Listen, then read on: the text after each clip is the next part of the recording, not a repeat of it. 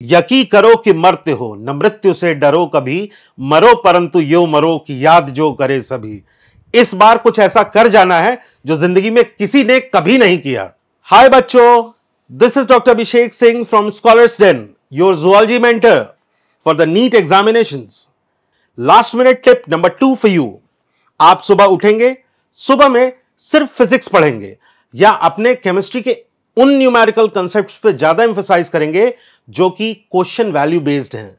यानी अगर numerical sections हैं, जैसे कि केमिस्ट्री में केमिकल इक्विलिब्रियम और थर्मोडायनेमिक्स आपको खूब छकाती है। इसी तरह से इलेक्ट्रोस्टैटिक्स और मैग्नेटिज्म फिजिक्स में आपको बहुत परेशान करता है। ठीक रोटेशन और मैकेनिक्स की तरह, कुछ बच्चों की ज़रूर कमज़ोर होगी। तो अपने शुरू के सेशन में जब आप दिन की शुरुआत करते हैं तो दिमाग फ्रेश रहता है। तो फ्रेश दिमाग के साथ आपको क्या करना है? You people have to emphasise on the numerical concept ठीक?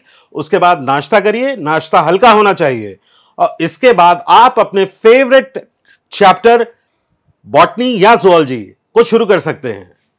अगर आपको यह समझना है कि, सर लास्ट मिनट में मेरी तैयारी नहीं हुई या ये पर्टिकुलर चैप्टर रिवाइज नहीं हुआ, अगर आपके मन में इस तरह की चीज़ें चल रही हैं तो बिल्कुल निश्चिंत हो जाइए अगर आपने किसी चैप्टर को साल में तीन या उससे ज़्यादा बार पढ़ा है तो वो आपकी सबकॉन्शियस मेमोरी में फ़ीड रहेगा।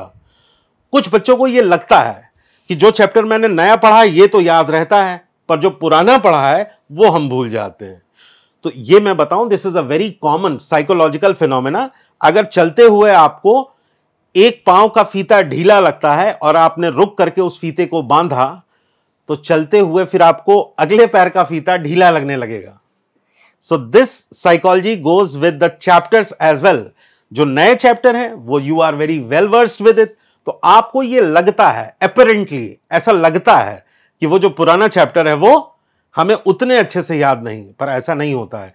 आप उस क्रम में, उस चक्र में फंसो मत। यकी करो कि मरते हो, न मृत्यु से डरो कभी, मरो परंतु यो मरो कि याद जो करे सभी। इस बार कुछ ऐसा कर जाना है जो ज़िंदगी में किसी ने कभी नहीं किया। आपका जुअलजी मेंटर अभिषेक सिंह आपके लिए।